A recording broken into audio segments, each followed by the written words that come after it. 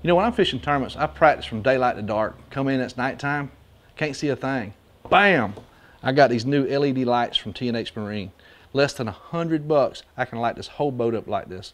It, it don't matter what time of night it is, 10, 11, 12 o'clock, 4 or 5 o'clock in the morning before a tournament, you can see just like this. Very easy installation. They draw very little amperage off my batteries. Less than a hundred bucks, T&H Marine, LED lights. Everybody thinks LED is expensive. Not these, and they work great.